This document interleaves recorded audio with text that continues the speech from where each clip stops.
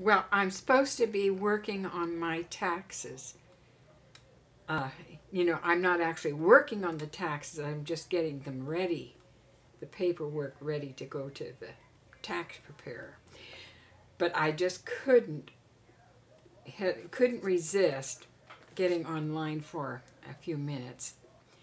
Wasn't that something tonight? Watching Nancy Grace not only scoop Judy, but she finally felt that she had enough to go on to venture out of her safe little niche and venture into the world of, well, Cindy and George have been lying a long time, and now I hope we get to the bottom of it.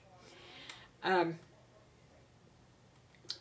to be specific, that George and Cindy knew that little Caylee was dead a long time ago. And uh, this has all been, uh, well, uh, you know, and what was also very nice, Leonard Padilla actually got to finish a whole sentence, you know, without any interruption. You know, they're always so afraid of what he's going to blurt out, you know.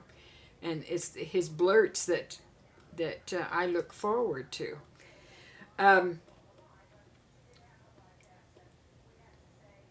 he, he said to compare the reaction of uh, how they acted when uh, they were, um, you know, uh, dragging the, the little Econ River thing, you know, and uh, how they kicked up a fuss and got very dramatic and then and yet when they actually found the skull and the remains there was absolutely no reaction whatsoever except let's go out to dinner. Um, it wasn't let's go out to dinner but nevertheless if it was uh, you know that was abc's invite to keep them away from uh, any other uh, news people but there's no way somebody could have gone out and um, even began to digest a meal on hearing this for the first time. It just wouldn't be. And to have a dinner where there's the child is not even mentioned. Not even mentioned during the whole dinner.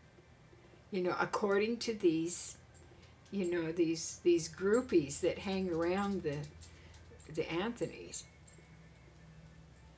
I mean, just think about that. No discussion of Casey, no discussion of Caylee. Maybe talk about, you know, football scores or, you know, anything but. Yeah, it it doesn't ring, does it? And we have we have known that this is um, it, it didn't play off right. And so that means that the timeline for what did Cindy know and when did she know it is wide open. There's something more that we must not forget about because this is really very, very puzzling. You know, KioMarie says that she never heard though she was in contact with um, Casey most every day, most every day, and there was never any mention of any babysitter or nanny. Yet, Charles Crittendon, the um, Cindy's co-worker, says that um, Cindy had been referring to uh, Zanny for perhaps two years. Zanny the nanny, Zanny, not Zenaida, but you know, Zanny anyway. Two years. So, where did this originate? Did it originate with Caylee as or uh, Casey, as we have uh, been thinking all along, or was the origin Cindy? Wouldn't that be something if that were true?